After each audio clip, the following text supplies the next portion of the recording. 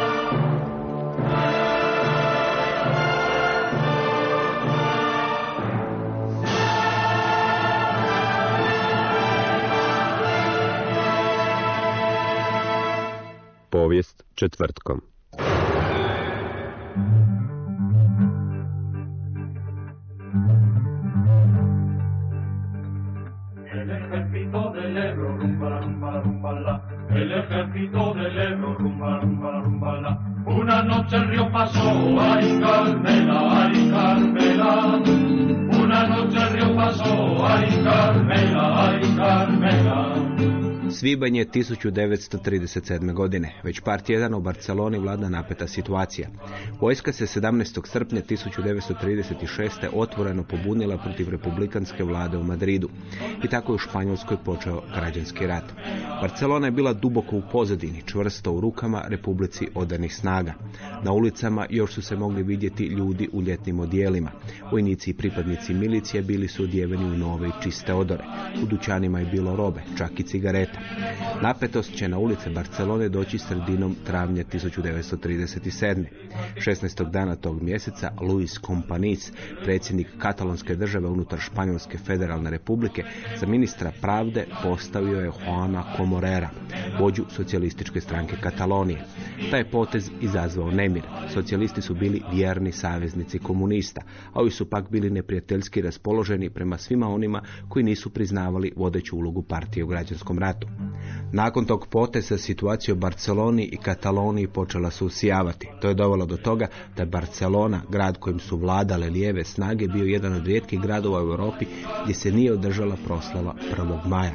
Strahovalo se od sukoba između članova komunističkog i nekomunističkih sindikata. 2. svibnja u nekomunističkim novinama Solidarido Brera mogli su se pročitati ove riječi. Nad Barcelonom se nadvijaju olujni oblaci, sve više i više prijeteći.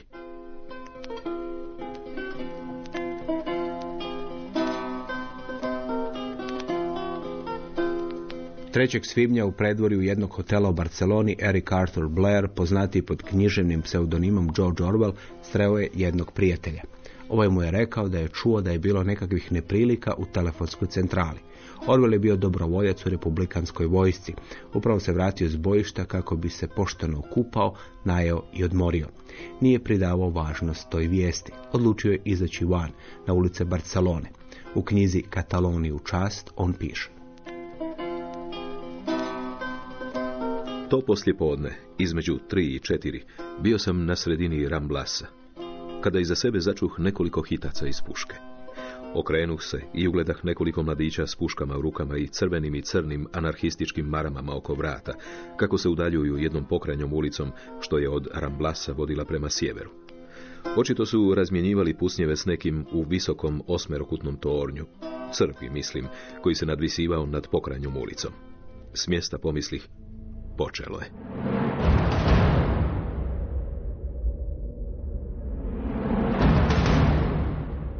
U tri sata poslje podne tog 3. svibnja 1937. pred telefonsku centralu na plazi de Katalunja došla su tri kamiona puna vladinih vojnika.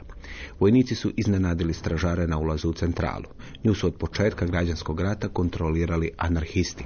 Kontrola nad centralom omogućila im je da kontroliraju sav telefonski promet s Barcelonom. Između ostalog mogli su prisluškivati razgovore koje je kompanij vodio s republikanskom vladom i predsjednikom Španjolske Manuelom Azanjom Diazom. Vojnici su zaustavljeni kada je s prvog kata na njih otvorena vatra. Pucnjava je bila znak za uzbunu u gradu. Anthony Beaver u knjizi Bitka za Španjolsku piše. Tijekom sljedećih nekoliko sati ljudi su počeli vaditi kocke za popločavanje i kamenje kako bi napravili barikade na Ramblasu, Paralelu, Starom gradu, ulici Laetana i u okolnim dijelovima grada. Trgovine su zatvorene, tramvaji su prestali voziti. Na jednoj strani su bile vladine snage, prokomunistička socijalistička partija Katalonije i Ujedinjena socijalistička mladež.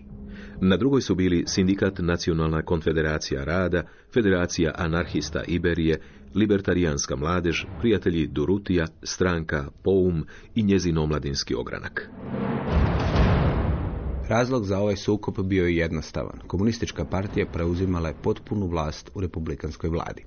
Iza partije stajala je Kominterna, a iza nje Josif Visarionović Stalin, koji nije namjeravao davati oružje republikanskoj vladi, dok u njoj važnu ulogu igraju nekomunističke snage. Stalin i Sovjetski savez nisu namjeravali dopustiti da na životu ostane POUM, radnička partija marksističkog ujedinjenja, koja je zagovarala Lava Trockog i njegovu ideju stalne revolucije. Stalin je Trockog protjerao iz Sovjetskog saveza. Atentator Kominterne će Trockom 1940. u Meksiku zabiti šiljak za led u glavu. Još više od trockista, Kominternu i njezine agente smetali su anarhisti. Španjolska je bila zemlja s najjačim anarhističkim pokretom.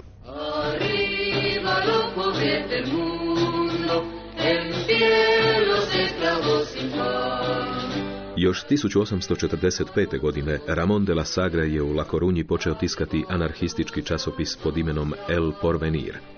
Časopis je brzo zabranjen, ali je anarhizam uhvatio korijene. Godine 1868. talijanski anarhist Giuseppe Fanelli posjetio je Barcelonu i Madrid kako bi utemeljio ogranke prve internacionale. Pet godina kasnije ti su ogranci brojali 60 tisuća članova. Početkom 20. stoljeća anarhistički pokret stvorio je dvije velike organizacije. Sindikat CNT ili Nacionalnu konfederaciju rada i Federaciju anarhista Iberije. Do 1936. CNT je narastao na milijun i šesto tisuća članova. Imao je samo jednog plaćenog zaposlenika. Sve sindikalne poslove obavljali su u svoje slobodno vrijeme radnici izabrani od svojih kolega. Nakon izbijanja građanskog rata članstvo CNT-a naraslo je na 2 milijuna. Anarhistička milicija bila je jaka i predvođena uglednim borcima poput Bonaventure Durutija. Kominterna i Stalin nisu mogli dopustiti postojanje tako jake konkurencije.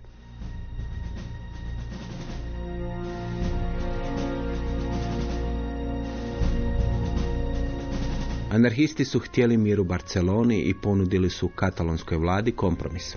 Ali napetosti na ulicama su se nastavile. 5. svibnja oko 13 sati ubijen je Antonio Sese, generalni sekretar UGT-a, Generalne unije radnika komunističkog sindikata. U predveče tog dana pronađena su tijela talijanskih anarhista, Kamila Bernerija i Franka Barbierija. Nakon njih pronađena su tijela još dvojice istaknutih anarhista. Od mira nije bilo ništa. George Orwell piše. Čitav veliki grad od milijun ljudi bio je zatvoren u nekoj vrsti nasilne inercije. U noćnoj mori buke bez pokreta. Suncem obasjane ulice bile su posve prazne. Ništa se nije događalo osim zujanja metaka z barikada i prozora zaštićenih vrećama s pijeskom.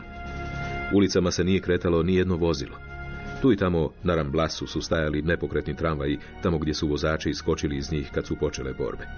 A čitavo vrijeme paklenska buka koja je odjekivala od tisuća kamenih zgrada, ustrajala je poput tropske olujne kiše. Tres, bum, bum, bum, pras. Ponekad bi se stišala na nekoliko pucnjeva, ponekad se ubrzavala do zaglušne paljbe, ali nikad ne bi prestajala sve dok je trajalo dnevno svjetlo.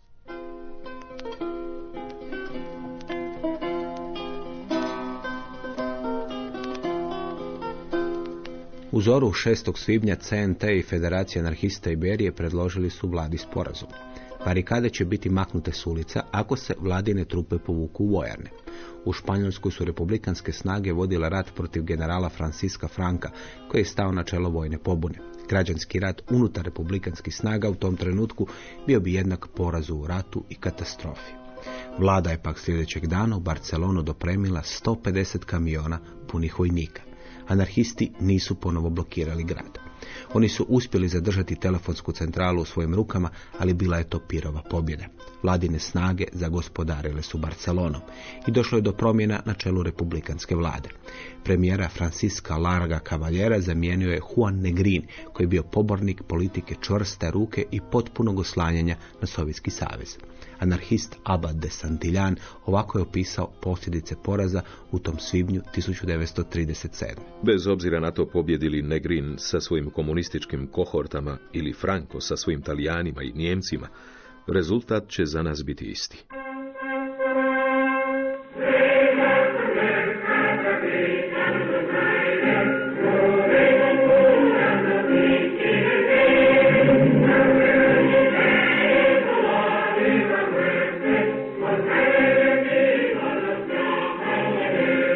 Početku španjolskog građanskog rata anarhisti su zavladali skoro cijelom istočnom Španjolskom. Njihova milicija, vođena urbanim gerilcima koji su godinama ratovali protiv vlade, vojske, zemljoposjednika i njihovih plaćenika, uspjela je pobijediti pobunjenu vojsku u Barceloni i Valenciji i ugušiti vojne pobune u Kataloniji i Aragonu. U tim dijelovima Španjolske anarhisti su pokrenuli socijalnu revoluciju. Tvornice i željeznice su preuzeli radnički komiteti. U stotinama sela seljaci su zaposjeli zemlju i utemeljili komune. Ukinuta je unutarnja upotreba novca. Zemlja je kolektivno obrađivana. Komune su razmjenjivale robu i dijelile je prema veličini obitelji. U mnogim je komunama zabranjena upotreba duhana, alkohola, čak i kave. Doduše, tijekom tih mjeseci bilo je i anarhističkog nasilja. Posebno su teško prošli zemljoposjednici, crkva i vojska. Ali čak i uzdržana enciklopedija Britanika u članku o anarhizmu piše da su mnoge te komune bile efikasno vođene i da je u mnogim selima zemlja produktivnije obrađivana. Sve je to okončano pobjedom komunista. Kada je republikanska vlada pod njihovim vodstvom izgubila od Franka i njegovih falangista, anarhizam se potpuno povukao u ilegalu. I tako je završio najveći anarhistički eksperiment u povijesti. Nikada prije i nikada poslije anarhisti neće upravljati tako velikim dijelom neke zemlje. U sljedeće dvije emisije govorit ćemo o anarhizmu, o tome kako je ta štetna riječ postala naziv za niz učenja kojima je zajedničko uvjerenje da su država i vlada štetne i nepotrebne. Naš sugovornik je profesor dr. Žarko Puhovski, socijeka za filozofiju Filozofskog fakulteta u Zagrebu. U oksfordskom rječniku koji se smatra na neki način standardnim za englesku kulturnu i jezičnu povijest, govori se kako se po citatima 16. i 17. stoljeća može zaključiti da su anarhistima smatrani pijanci, pokvarenjaci, vandali, kaoti, ljudi nedolično ponašanje i tako. To jest naprosto oni koji su neodgojeni, jer ne priznaju nikakav red i taj negativan tip shvaćanja anarhizma koji se recimo pojavljuje u političkom životu, odnosno na levelere u engleskom e, političkom sukobljavanju koji se u francuskoj revoluciji pojavljuje kao više manje pogrdna oznaka za radikalne ljevičare. U formalnom smislu zapravo dokida tek Proudhon. On je prvi koji sebe, kako kaže, s ponosom naziva anarhistom. Ono što se tu s Proudhonom započinje i dalje razvija, polazi od jednostavne odrednice u kojoj anarhos znači stanje, život, kontekst, društvo, bez vođe, bez glave, bez centra, bez autoriteta. Dakle, nešto što je, tako bismo danas rekli, samoustrojeno, auto-organizirano, samopostavljeno.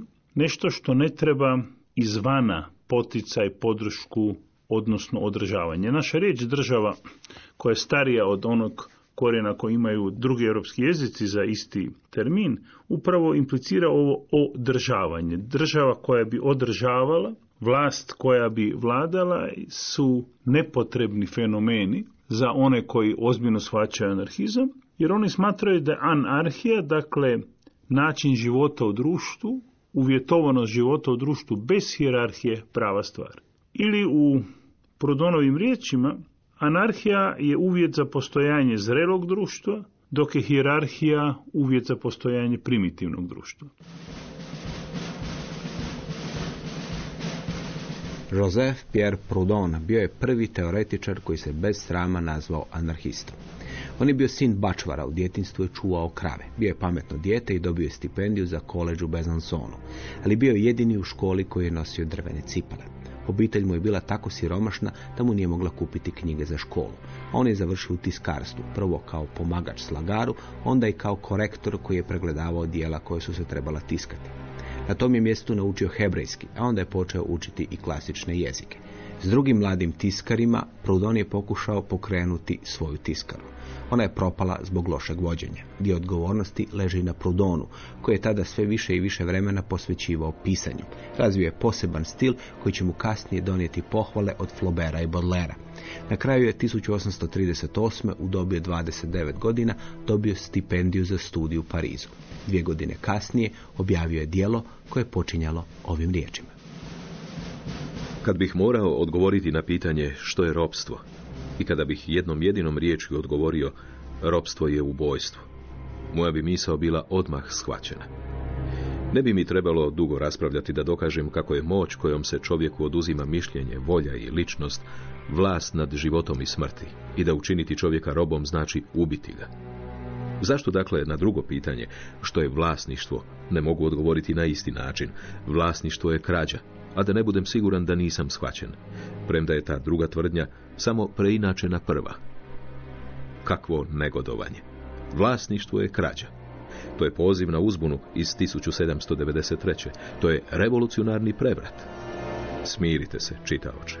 Uopće nisam pokretač razora ni kolovođa pobune. Nekoliko sam dana ispred povijesti. Iznosim istinu koju uzalud nastojimo zabraniti da se oslobodi. Pišem predgovor naše buduće konstitucije. Kad bi nam naše brige dopuštale da je shvatimo, definicija vlasništvo je krađa koja nam se čini svetogrdnom, bila bi čarobni munjovod. Ovim riječima Proudhon započeo svoje dijelo što je vlasništvo. Zbog njega je skoro završio pred sudom. Godine 1842. objavljivanje dijela upozorenje vlasnicima donijelo mu je sudsku tužbu. Od zatvora ga je spasila činjenica da porota nije mogla razumjeti argumente iznesene u tom dijelu i stoga ga nije zbog tih argumenata moglo osuditi. U Parizu se Proudhon, koji je zarađivao za život kao činovnik u vodovodnoj tvrtci u Lyonu, upoznao s Karlom Marksom. Kako mu se nisu svidjele Marksove autoritarne i centralističke ideje o ustroju radničkog pokreta, došlo je do svađe između te dvojice. Marks je onda učinio ono što je uvijek radio. Sukob mišljenja pretvorio je u osobnu razmiricu. Proudhon je objavio dijelo Sistem ekonomskih proturječja ili filozofija bijede. Marks je onda objavio bijedu filozofije, napad na Proudhona. Bio to početak raskola između anarhista i komunista.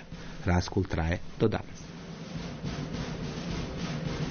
Anarhija pretpostavlja samostalnu, samosvjesnu osobu koja zna za sebe i svoje potrebe, koja ne treba vodstvo. U maloj zagradi dodajem zadnjih se godina preko nekritičkog korištenja američkog termina leadership u političkom životu pojavila odrednica vodstvo kao najviša kvaliteta koja se pridaje nekom političaru. Your leadership, vaše vodstvo je pokazalo rezultate u toj i toj državi. E, to je nešto što se dakle pretpostavlja kao kvaliteta. Još čišće je to bilo starom socijaličkom kontekstu gdje se govorilo o rukovodstvu, dakle to je vođenje za ruku, to je nešto što se radi s dječicom u vrtiću primjerice, kad idu preko ceste i tako dalje. A jedno i drugo implicira, ako me treba voditi ili rukovoditi mnome, da sam nesamostalan, nepunoljetan, što bi rekao Kant, da nisam u stanju koristiti se svojim umom i da mi treba netko kome vodi kamo idem i tako dalje. To je onaj eh, kontekst koji se pomalo ironično nalazi u starogradskoj pjesmi onom stihu kad ni onaj ko te vodi ne zna puta da pogodi. U onom kontekstu vjerojatno više misli o pijanstvu, ali ovdje je riječ o tomu da se u tom kontekstu hijerarhijskog ustroja zajednice, pa onda društva koje odatle slijedi, olako pretpostavlja da ima onih koji znaju. Ima onih koji trebaju znati, ima onih koji budući da znaju trebaju znati, imaju danu ovlast da nas vode. Oni mogu biti nametnuti, oni mogu biti samodržci kao recimo ruski carevi, ili mogu biti postoje demokratski izabrani, njihove su odluke obvezatne. Temeljno načelo svakog anarhizma jest odbijanje same mogućnosti da je moguće konstruirati dakle opravdani složaj u kojemu bi nečija odluka bila za druge obvezatne. Godine 1812. Percy Bysshe Shelley otkrio je da je čovjek čijim se dijelima divio još uvijek živ. Shelley je izbačen iz Oxforda jer je napisao pamflet pod naslovom Nužnost ateizma. Prvo je pobjegao u Škotsku sa 16 godina starom Harriet Westbrook, a onda je otkrio da je autor dijela koje ga je oduševilo živ i da stanuje u Londonu. Čovjek kojemu se Shelley divio rođen je obitelji svećenika, ali ne svećenika anglikanske crkve, već otpadnika koji su podržavali kalvinističku verziju kršćanstva i protivili se ideji državne crkve. Dedi i otac Shelleyevog omiljenog mislioca bili su svećenici. I on je to trebao postati. On se ipak odlučio na drugu karijeru. Godine 1783. on je napisao dijelo u kojemu je pisalo. Stanje društva je nepobitno umjetno. Moć jednog čovjeka na drugim uvijek se mora izvesti ili iz ugovora ili iz osvajanja. Po prirodi svi smo jednaki. Nužna posljedica je da vlada uvijek mora ovisiti o mišljenju onih kojima se vlada. Dopustite najugnjetenijima pod nebom da jednom promijene svoj način mišljenja i oni su slobodni. Vlada je vrlo ograničena u svojoj moći da ljude čini kreposnima i sretnima. Samo u začetku društva ona može učiniti nešto značajno. U svojoj zrelosti ona može upravljati samo malenim dijelom naših akcija.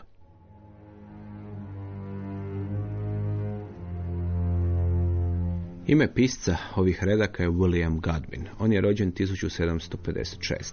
Njegova dijela promicala su ateizam i osobnu slobodu.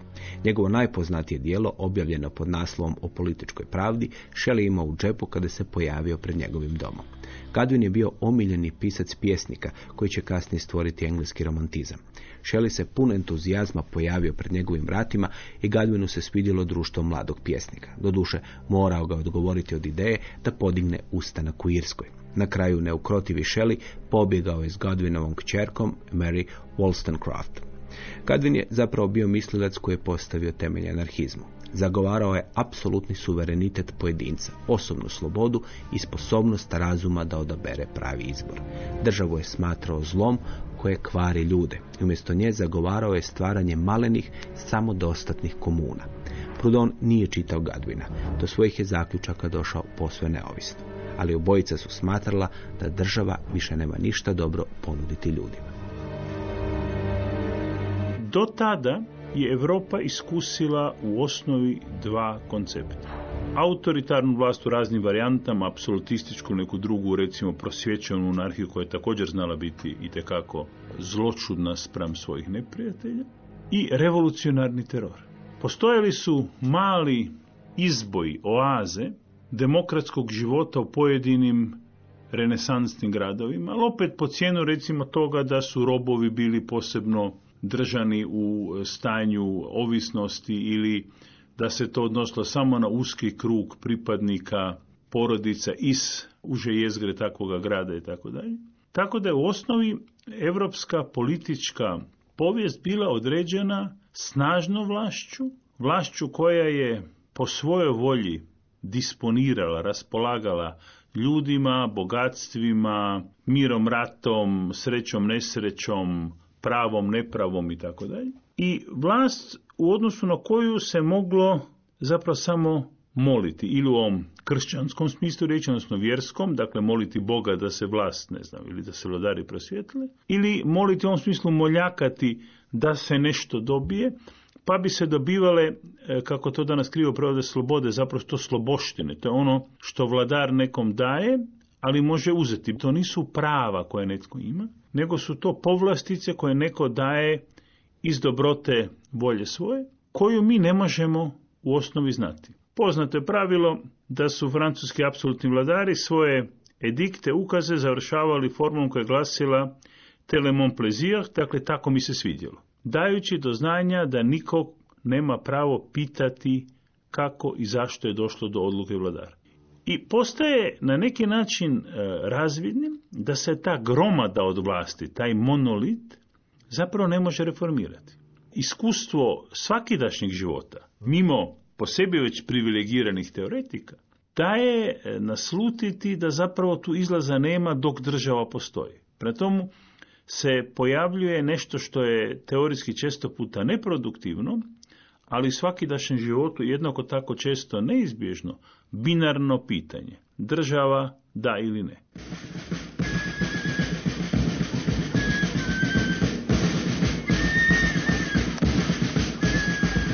Godine 1638. John Lilburn uhićen je dok je pokušavao iz nizozemsku u Englesku prokrijumčariti jedan vjerski pamflet protiv Anglikanske crkve i njezinih biskupa. Izveli su ga pred zvijezdanu komoru, kako se nazivao sud sastavljen od sudaca i članova dvorskog vijeća. Dosuđena mu je globa od 500 funti, koju nije mogao platiti i bičevan je putem do zatvora u Westminsteru. Do zatvora je išao privezan za kola i prema njegovom računanju dobio je 200 udaraca bičem. To ga nije ušutkalo i putem je okupljenima izvikivao parole protiv kralja i crkve. Onda su mu začepili usta. U zatvoru je bio do 1640. Svo vrijeme je proveo okovan lancima, čak i kada je bio teško bolestan. Iz zatvora je pušten odlukom dugog parlamenta. Prijedlog za puštanje dao je nitko drugi do Oliver Cromwell.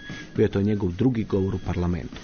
Lilburn i Cromwell postaće veliki neprijatelji, jer će se zatočenik nakon kratkog služenja u parlamentarnoj vojsci pridružiti pokretu koji se nazivao Leveleri. Pokret je nastao 1645. na 46. i brzo je postao popularan kod ljudi i vojnika parlamentarne vojske. Već u prvim manifestima Leveleri su tražili puno za tadašnje vrijeme. Austin Woolrich u knjizi Britanija u revoluciji piše. Manifest je bio provokativno adresiran na donji dom parlamenta kao vrhovni autoritet ove nacije. Njegov prvi zahtjev bio je da ni kralj, niti lordovi nemaju pravo veta nad onim što odluče predstavnici naroda, niti bi članovi gornjeg doma trebali imati bilo kakvu nadležnost nad poslovima donjeg doma. Manifest je tražio odbacivanje svih prisega i povelja koje su vodile do progona ljudi zbog njihovog nesuglasja u pitanju vjere i tražio je da nitko ne može biti kažnjen zbog propovijedanja svojih vjerskih mišljenja na miroljubiv način. Manifest je tražio ukidanje desetine i zahtijevao je da svećenika plaćaju samo oni koji plaćanje svojevoljno odaberu. Zahtijevao je i hitnu reformu zakona i sudske prakse. Osuđivao je postojeći zatvorski sustav koji su tamničari vodili kako bi na njemu zaradili. Na kraju, ali ne i manje važno, Manifest je od donjeg doma tražio da osigura neka moćna sredstva kako bi muškarce, žene i djecu držao podalje od prosjačenja. Bio je to prvi u nizu manifesta Levelera. Oni su u vojsci imali sve veći utjecaj i na kraju su vojni zapovjednici morali prihvatiti osnivanje vojničkih vijeća koja su se sastojala od vojnika i časnika. Na kraju je generalima bilo dosta toga i strpali su Lilburna i druge voće Levelera u zatvor. Oružanu pobunu koja je nakon toga uslijedila brzo su ugušili. Leveleri su bili jedan od pokreta koji su nadahnuli prve anarhističke mislioce. Anarhizam u Prudonove varijante, ali ima naravno različitih varijanti, polazi od nečega što on zove mutualizmom, uzajamnošću, uzajamništvom recimo. Proudhon općenito sebe stilizira kao neku vrst Rousseau u novoj generaciji. On pokušava jednako radikalno kao Rousseau odgovarati na neka pitanja. I kad tim radikalnim formulacijama vlasništvo je krađa izazove pažnju, onda se naravno dogodi veoma često se kontekst zaboravi. Primjerice, Štirner je prvi pokazao jednostavnu konzekvenciju ovog stajališta koju su gotovo svi previdjeli. Tako dugo dok Prodon govori o krađi, on priznaje smislenost vlasništva. Krađa nema smisla ako ne postoji pojam vlasništva, jer se nema što ukrasti, onda sve svačije pa krađa kao pojam gubi sadržaj. I odista kod Prodona se radi o tomu da on želi nadomjestiti vlasništvo nečem što on zove relativnim vlasništvom, što je zapravo posjed. Iz činjenice da posjedujem nešto i da to koristim posjedujući, slijedi neko pravo, koje međutim meni omogućuje da dobrim dijelom sebi osiguram život, barem uvjetima koji su njemu pred očima u 19. stoljeću. Ali već i tada je sasvim jasno da time ne mogu cijelinu svog života ustrojiti niti podmiriti sve svoje potrebe, pa se kao razmjena, kao načelo razmjene pojavljuje ta vrst, kako se kaže, etičkog cjenkanja. Dakle, mi razmjenjujemo vrijednosti rada. I nadalje, Prudon zastupa nešto što bi danas vjerojatno ispalo jako popularno, iako bi velikoj većini ljudi e, koji vode suvremena društva diglo kosu na glavi, što on zove, to je njegov koncept, besplatnim kreditima. Dakle, kreditima bez kamata. Nešto slično danas zastupaju neke banke koje se pozivaju na tradiciju e, muslimanskog e, podrijetla, odnosno na islam. Dakle, banke u koje bi davale novce i vraćalo bi im se novac kakav je bio, iznos kakav je bio ili protuvrijednost kako je bio. I time bi se onemogućilo ono što njega najviše brine, bogaćenje bez rada.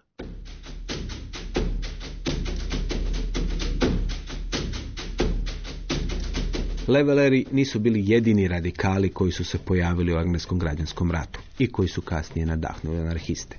Bilo je to puno radikalnijih skupina, poput Digera ili Kopača. Austin Woolrich piše. Prva digerska komuna, skupina od tridesetak muškaraca koji su se nazivali istinski leveleri, okupila se na zajedničkoj zemlji u St. George's Hillu pokraj Voltona na Temzi i počela kopati i saditi pastrnak, mrkvu i grah, hranu od koje su živjeli.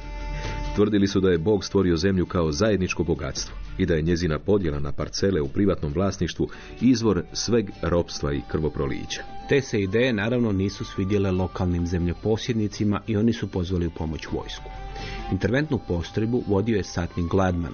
Njega su dočekala dva izaslanika Digera. On ih je saslušao, iako nisu skinuli svoje šešire. I procijenio je da je ta malena skupina posve bezopasna i pustio ih da žive a onda su se pojavile nove zajednice digera koji su zauzimali malene komade zemlje i zajednički ih obrađivali. Sada je poslana vojska kojom su zapovjedali puno grublji ljudi. Kolibe digera su srušene, usjevi uništeni, a oni su oglobljeni zbog ometanja posjeda. Do ljeta 1650. digeri su nestali. Austin Woolrich piše. U Gerardu Winstanleyu digeri su našli vođu i genijalnog publicista. Njega se slavi kao pretka modernog sekularnog komunizma, ali njegove ideje došle su od knjige o Danielu i otkrovenja. Do proljeća 1649. kada je objavio prvi digerski manifest, on je postao uvjeren da će se kraljevina svetaca ostvariti kroz Krista, drugog Adama, i da će ona nadahnuti svakog muškarca i ženu da otkupe izvorni Adamov grijeh kroz odbacivanje gospodstva i vlasništva. Duhovna obnova trebala se ostvariti kroz dijeljenje zemlje i njezinih plodova. Digeri su odbijali upotrebu nasilja i brzo su nestali. Bili su samo jedna od siromašnih skupina koja je izgubila od bogatih. Tek 19. stoljeće s Prudonom, na osnovi naravno analiza koje su prethodno bavili u ekonomiji Smith i Ricardo, svača jednu bitnu stvar, da naime u društvu koncepcijski ne postoje s jedne strane bogati, a s druge strane siromašni nego da je odnos posve jednostavan, a glasi ja sam bogat zato što je netko siromašan, ja sam siromašan zato što je netko bogat. To su dakle dvije strane istog novčića. I kad se to pojmi, onda postaje jasno da u tom kontekstu recimo nulte sume, kako biste danas reklo, pomoć siromašnjima postaje mogućom tako da se uzima od bogatih. Ali ne u ovom smislu Robina Huda da konkretno bogatom uzmete dva cekina pa ga date jednoj skupini siromašnih da prežive, nego tako da se onemogući bogaćenje. Jer je bogaćenje moguće samo bez rada, jer koliko god jedan čovjek bio sposobniji drugoga, pa može imati dva, tri ili pet puta više, nije logično pretpostaviti da postoje ljudi koji su tisuću ili sto tisuća puta sposobniji od drugih, a nedvojbeno postoje ljudi koji imaju toliko puta više od ostalih. Dakle, Proudhon polazi od jednog jednostavnog socijalnog motiva, neopravdanog bogatstva, koje nastaje tom nejednakom razmjenom, da opet upravim termin iz 20. stoljeća, odnosno sintagmu, i koju on hoće spriječiti mutualističkim načelom horizontalnog, ravnopravnog razmjenjivanja, kreditima bez cijene, dakle bez kamata, bez interesa, kako se u tradicionalnoj terminologiji govorilo, i odsutnošću hijerarhijski nadređenog aparata ili mehanizma koji bi nametao obrazce ponašanja, budući on smatra da odrasli razumni ljudi mogu sami znati kako će se odnositi, vladati u odnosu na ljudske potrebe, na druge ljude, na svoj vlasti život i da im ne treba vodstvo o kojem sam malo čas govorio.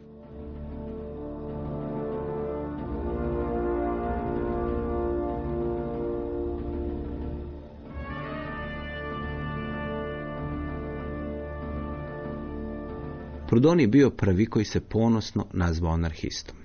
Ali su mu neki anarhisti zamjerali način borbe protiv države i poredka. Daniel Gerin u knjizi Anarhizam piše da se Proudhon dao dva puta uhvatiti na parlamentarni lijepak, kada je na izborima glasao za kandidata ljevice. Sljedeći veliki teoretičar anarhizma na taj se lijepak nije dao uhvatiti. Za njega je jedan od njegovih biografa, povjesničar E.H. Carr, napisao da mu je revolucija bila u krvi, kao što su drugim ljudima u krvi more ili planine. U Parizu 1848. on je prvi puta okusio ulične borbe i barikade. Nakon toga otišao je na istok kako bi raspirio revoluciju u Njemačkoj i Poljskoj. Došao je na Slavenski kongres u Pragu. Kasnije te revolucionarne 1848. napisao svoj prvi važni manifest, poziv Slavenima, u kojima ih je pozvao da zbace Habsburge, unište njihovo carstvo i da u srcu Europe stvore slobodnu federaciju slavenskih naroda. Godine 1849. uhićen je u Drezdenu. Do tada je uspješno bježao policajcima u mnogim državama. Taj će anarhistički teoretičar nastojati dignuti niz revolucije. U svom dijelu revolucionarni katekizam on je napisao. Zadaci revolucionara prema samome sebi. Prvo, revolucionar je čovjek koji je svoj život u cijelosti žrtvovao. On nema ni osobnih poslova ili interesa, ni osjećaja, ni sklonosti, ni vlasništva. On čak nema niti imena. Cijelo njegovo biće obuzeto je jednim jedinim isključivim interesom, jednom jedinom mišlju, jednom jedinom strašću, revolucijom. Drugo, u najiskonskijoj dubini svoga bića, i to ne samo riječima, već i dijelima, on je raskinuo svaku vezu s građanskim poretkom i s cjelokupnošću civiliziranog svijeta, kao i sa zakonima, tradicijama, moralom i običajima koji u tom društvu postoje. On je nepomirljivi neprijatelj toga društva. A ako uza sve to i dalje u njemu živi, to čini jedino s ciljem da ga što temeljitije uništi. Ime teoretičara kojemu je revolucija bila u krvi je Mihajl Aleksandrović Bakunjin. Kod Bakunjina se iz ruske tradicije možda, ali i zbog drugih razloga, pojavljuje anarhistički kolektivizam. On govori o radničkim kolektivima, o teritorijalno ograničenim kolektivima, ali kod njega su subjekti kolektivi. Dakle, pogrešno je nešto što ćete naći u mnogim riječničkim prikazima, da je anarhizam u biti i gotovo u osnovi i e, bez većeg broja izuzetaka individualistička ideologija. On ima veoma jaku konceptualnu okrenutost pojedincu, ali kod Bakunja koji je nedvojben jedan od uglednih anarhista i bitnih anarhista za tradiciju, kolektiv se pojavljuje kao subjekt i to radni kolektiv. On preuzima koncept tko ne radi, neka umre od gladi. To je zapravo bio izvorno liberalni model kojim se htjelo kod e, onog prijelaza u kapitalizam koje je Thomas More jednostavno formulirao onom tezom ovce su pojele ljude, natjerati proletere koji su tako nastali su ostali bez onog minimuma zemlje koji su imali feudalizmu, da rade pod pritiskom prirodne, a ne socijalne nužnosti. Dakle, njih nije niko tjerao batinama ili bićevima na rat kao u feudalizmu, nego su imali slobodu da rade ili ne rade, s time da bi sloboda da ne rade implicirala konsekvenciju umiranja od gladi. Doslovce nikakvih socijalnih institucija nije bilo, niti bi recimo Lok kao liberal smatrao dopustivim. Leveleri to prvi okreću protiv bogataša, tvrdeći da oni ne rade, a žive dobro, da bi dakle oni koji ne rade trebali umreti od gladi. Godine 1844. Bakunin se prvi puta susreo s Karlom Marksom, koji je bio četiri godine mlađi. Bakunin je bio impresioniran Marksovim intelektom, energijom i vladanjem materijom političke ekonomije. Ali Marks je Bakunina smatrao za sentimentalnog idealistu, a ovaj je pak Marksa nazvao pokvarenim, taštim i otresitim. Marksu nije puno pomogla i činjenica da je Bakunin bio antisemit i mrzitelj Njemaca. Razlika je bila i teoretska. Obojica su bili revolucionari. Pakunjin se protivio potrebi političke kontrole u revoluciji, protivio se centralizaciji i postanju političkog autoriteta koje bi vodilo revoluciju. Vrijednost rada je kod Bakunjina naglašena kao jedna vrst ulaznice u kolektiv. Kolektiv jest radni kolektiv. U socijalizmu to postoji bila fraza kojom su se opisali, opisivali zaposlenici u nekom poduzeću ili firmi, ali kod Bakunjina to doslovce znači ono što riječi govore, kolektiv ljudi koji su, kako on to kaže, braća po radu. I on će e, uvesti zapravo prvi razliku između kooperacije i koordinacije. Koordinacija implicira ovo o čemu već i Prudon govori, dakle hijerarhiju, da netko ordinira, da netko uspostavlja odrednice u odnosu na koje se drugi moraju radno očitovati ili postaviti. Dok kooperacija pretpostavlja horizontalni element, ja radim, on radi, ona radi, mi radimo i surađujemo. Taj koncept radničkog kolektiva jest osnova Bakunjinovog shvaćanja i on s njime zapravo dolazi u sukob sa Marksom i poslije u povodu toga, nakon Marksove smrti, Engels piše znameniti tekst o autoritetu, u kojem e, kaže da je pogreška anarhista, misleći u ovom kontekstu baš na Bakunju na njegove radničke kolektive, u tomu što misle da je moguća sloboda u svijetu rada. Dok za Englesa nije opće dvojbeno da na ulazu u svaku tvornicu piše ili bi trebalo pisati lašata on speranca, stavite svaku nadu vi koji ulazite, jer ovdje vlada autoritet proizvodnog odnosa i njegove logike. Taj autoritet ne može dovesti u sumnju nikakvo slobodarstvo. Sloboda počinje izvan svijeta rada u takozvano slobodno vrijeme, zato ono izvorno tako je zvano, dok još nije bilo kao danas predmetom potrošačke eksploatacije, ali to je naravno druga tema. Pakonjen, međutim, ima pred očima kolektive koji su mali, koji su ili zemljoradnički, ili obrtnički, ili vezani uz male proizvodne pogone.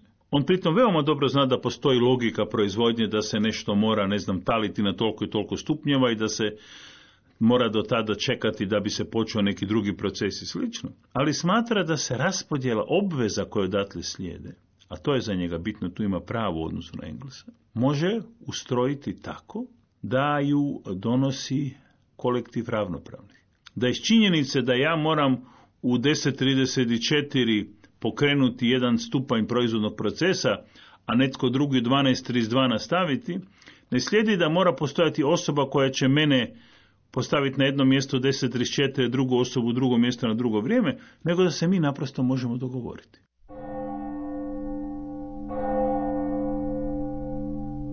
Godine 1864. Nikolaj Šhutin osnovao je revolucionarnu organizaciju i nazvao ju organizacija. U središtu te organizacije postojala je ćelija koju su nazvali pakao. Šhutin i njegovi revolucionari razočarali su se u revolucionarni zanos masa i smatrali su da ne postoji dovoljni revolucionarni moment koji bi mogao srušiti carski režim i državu. Zato su usvojili strategiju koja je nalagala ubojstvo cara. On je bio središte režima. Ako on padne, režim će biti u rasulu i to će biti okidač socijalne revolucije. Posao ubijanja cara pao je na paklenu ćeliju. Yves Tarnon u knjizi Povijest terorizma piše. Članovi pakla bili su asketi koji su raskinuli sve veze sa svijetom i živjeli u dubokoj ilegali. Sve to vrijeme budno su pazili na ostatak organizacije. I Šutinov rođak Dmitri Karakozov objavio je svojim prijateljima da je odlučio ubiti cara Aleksandra II. Njegovi prijatelji molili su ga da odustane od toga, tvrdeći da narod još nije spreman, da su ljudi gledali na cara kao na mitsku osobu i da su ga zbog njegova edikta o oslobođenju od kmetstva smatrali svojim osloboditeljem. Karakozov ih je ignorirao i 4. travnja 1866. godine pucao je na cara dok je ovaj izlazio iz kočije. Njegov pištolj je odmaknuo pijani seljak koji je u tom trenutku tuda prolazio. Car je preživio taj pokušaj atentata, ali general Muravjev je nakon toga pokrenuo val terora protiv svih organizacija koje su smatrane revolucionarnima. Zanimljivo je da je jedno vrijeme kao paš tog Aleksandra II. služio jedan od najvećih anarhističkih teoretičara. On je bio podrijetlom iz ruske prinčevske obitelji. Bio je sjajan pitomac Vojne akademije i izabran je za narednika zbora paževa. Postao je osobni paž cara Aleksandra II. Nakon Vojne akademije, taj anarhist otišao služiti u istočni Sibir kao časnik u pukovniji Kozaka. Tamo se posvetio svojoj velikoj ljubavi, zemljopisu. Nakon vojne službe posvetio se znanosti, ali je odbio mjesto tajnika Ruskog geografskog društva. Tijekom boravka u Sibiru počelo je njegovo približavanje anarhizmu. Godine 1872. posjetio je Urare u planinama Švicarske. Tamo se oduševio njihovim dobrovoljnim kolektivima i njihovom međusobnom potporom. Kada se vratio u Rusiju, pridružio se revolucionarnom društvu i ubrzo završio u zatvoru. Čudesno je pobjegao iz zatočeništva dvije godine kasnije. U zapadnoj Europi počeo je njegov novi život. Život anarhista i revolucionara. Ime tog čovjeka je Petar Aleksejević Kropotkin. Prodon nije bio revolucionar. Prodon je zastupao reformizam i zato su ga dosta lako ne samo marksisti, nego i neki anarhisti otpisivali kao malo građanskog teoretika, već Bakunjin i Krapotkin su sasvim jasno revolucionarno orijentirani i sasvim jasno preuzimaju od Prudona za razliku od njegove reformističke orijentacije shvaćanje da je hijerarhija pogubna za autonomnost osoba, a bez autonomnosti osoba po njihovom shvaćanju čitav koncept anarhije u pozitivnom smislu života ljudi u horizontalnim odnosima, oči u oči, što bi rekli amerikanci danas u ovim naivnim New Age psihologijama, nije moguće. Taj stav je, dakle, u sebi kontradiktoran. I u tom pogledu im marksisti to s pravom prigovaraju, od Lenjina do recimo Lukača u nizu tek, tekstova iz 20. godina, možda najpoznatije taktika i etika ili taktika etika koji upravo na to upućuje. Formulacija koju Lukač tamo koristi je veoma interesantna. Može se spontano početi, ali se ne može spontano završiti.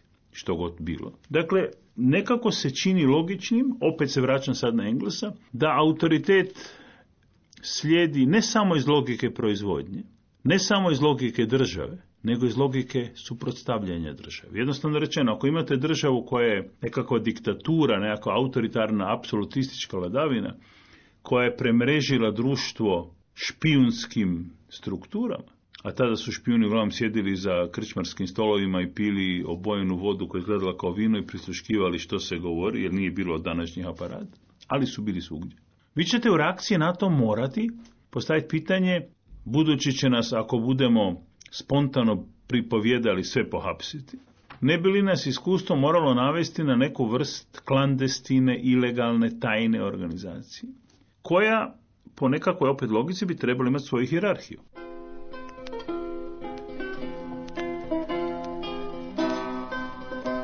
Poštovani slušatelji, slušali ste povijest četvrtkom emisiju obrazovnog programa Hrvatskog radija. Sljedećeg četvrtka govorit ćemo o anarhističkoj praksi.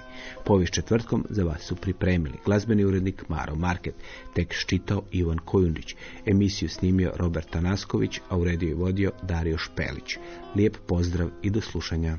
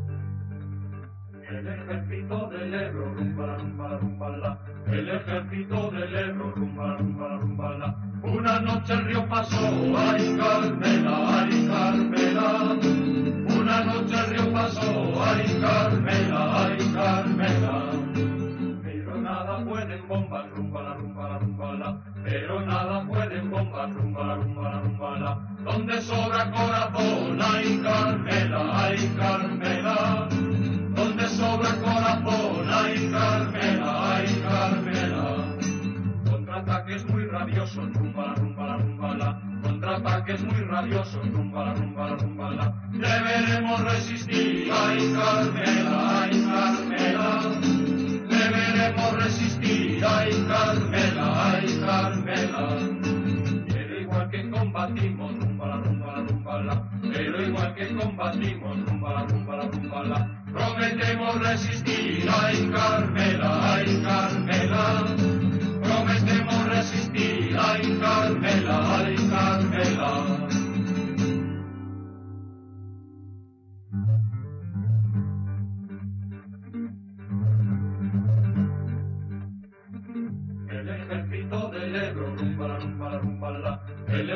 del Ebro, rumba, rumba, rumba, la. Una noche el río pasó, ay Carmela, ay Carmela.